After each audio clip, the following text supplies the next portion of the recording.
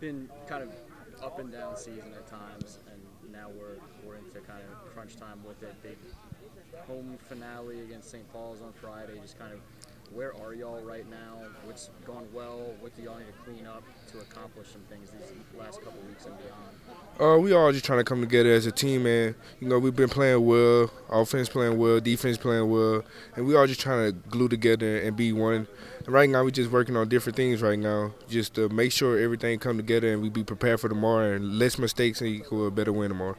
Has that been when when y'all have games get away from y'all? It's just been mistake here, mistake there, sort of thing. That Yeah, most of our losses become from mistakes. It's really having a team just really just beat us. It's really been off of mistakes, and we uh, fixed a lot of our mistakes, and you know we became a better team throughout the season.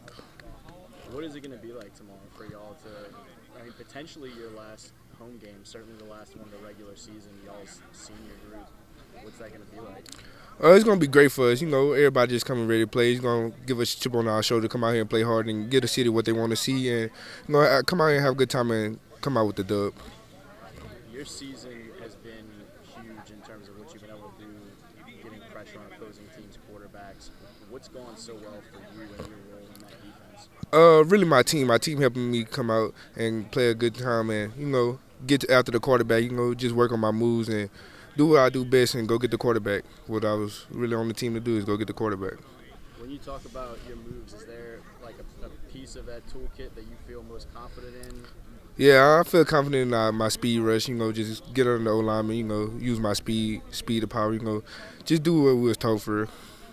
We were talking before. You you were way off in terms of how many sacks I think you had. Yeah. right. You, you were giving yourself about half credit. Yeah. What is that like to hear that you're having that type of a productive season, whether it be for you to kind of leave a mark in your last year here, or what you're doing, bringing to this defense, just whatever it means for you to have that type of performance? Uh, that that I just look at that in the interim, but right now I'm just trying to focus on the season. But it it, it feel good to have that many sacks, you know, and you know just helping my team get the win. And most of my sacks just come off my team and helping me, you know, get to my spot. And everybody been in the right spot and help me get that. So it works on the DBs. They've been in the spot, locking up their uh, position. Me getting to the quarterback. This is what I do. You hearing from some schools a little bit right now? or No. is it quiet? Now the only school I'm really here for right now is Mississippi Valley, but I'm just taking time, letting it come to me. I asked you a little bit in the spring, I guess, but what do you hope that schools are seeing, whether it be performance-wise or when we have these conversations, or if they come by and, and chat with you? What do they need to know about who Jamaal Sapp is as a young football player and a young man? They just you know I bring a lot of energy to the team and a lot of we have a lot of I have a lot of fun. You know I'm gonna come out here and play on Fridays, but outside the lines I can go I be myself and I don't really take everything serious. I just have some time and have a good time on and off the field, and then I come on the field on Fridays and play hard.